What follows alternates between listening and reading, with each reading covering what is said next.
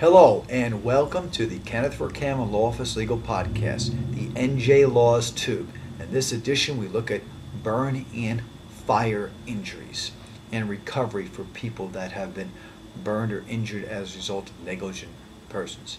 If injured or burned, all burns obviously should be covered with a sterile, non adherent dressing.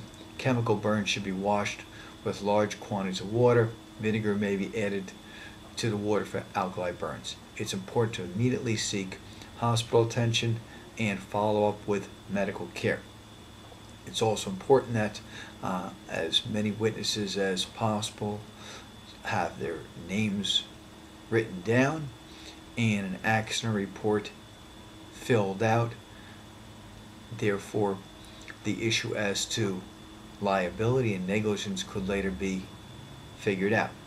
Let's say after seeking medical treatment, meet with your meet with your attorney because sometimes there's questions as to ownership of the property and responsibility for injuries. That's important. In addition, uh, if there's a public entity involved, there's a 90-day statute of limitations. A notice must be filed against the public entity within 90 days. Let's see. Um, in addition, never accept blame for the uh, accident. Follow it with medical insurance. Um, and in addition, if later on you can obtain a police report or investigation report, that's helpful because you want to make sure that that type of information contained is accurate. Never give a signed statement to a claims adjuster representing the other person's insurance company. The same goes for a phone recording. They can be used against you in court. Fighting the insurance companies via the side. Things that your attorney can help by doing for you. Sending a claim letter to the defendant's insurance company. Obtain and review hospital and medical records. 3. File a complaint. 4. Answer interrogatories. 5. Handle depositions. 6.